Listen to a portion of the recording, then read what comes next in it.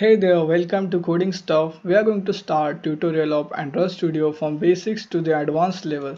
So first you have to install the Android Studio. For that you have to just search install Android Studio and go to the first link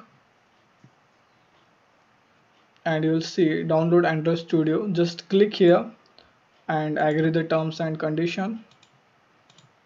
So it will start downloading. I have already downloaded it so I will not download it again so after the download process completed you can install it.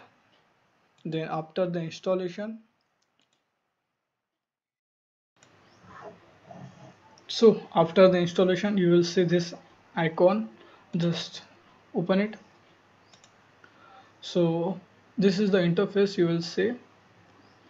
So we'll create new project by clicking on start a new android studio project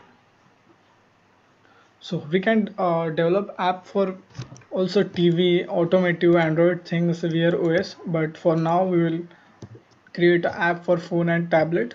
We'll select empty activity. We'll give name to our application. Let's say first app. And this is the package name.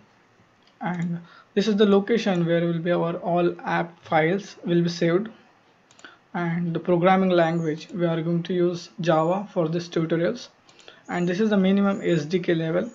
So we are selecting marshmallow. So below the marshmallow level our app will not run. Okay? So we'll click to finish. Let's get start. So this is the interface you will see for the first time you created the project and this is a screen of our app. So every screen in our apps is called as activity. In android studio we call this as an activity. And activity consists of two parts okay? First is the design and another is the functionality. Okay design means how our app will look. So we provide design by using xml program xml markup language okay? And we provide functionality or the operation to that design by using java programming language. So we will see everything and detail in further coming videos. So this is the text view we, ha we have already here. And we have button views image view and again different views. We will see each and every so this is our text view uh, we can change the value of this text over here. Uh, let's say hello. It will reflect here. Or we can set the value in XML also. We'll see this in detail uh, in upcoming videos. So we will run this uh, app in our emulator.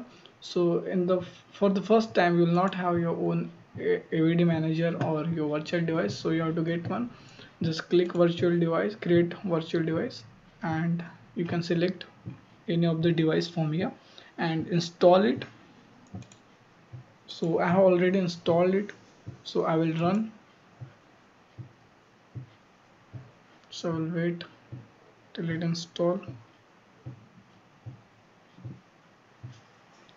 Yeah, now it's successfully installed in our emulator so this is the design. Uh, we have not provided functionality to our design. So in the next video we will create a project of addition of two numbers and uh, multiplication of two numbers like a simple calculator. And uh, we will be understanding all the UI component and uh, how to link that UI component to our main activity.java file and give it functionality so we will see this in see that in our next video. So thank you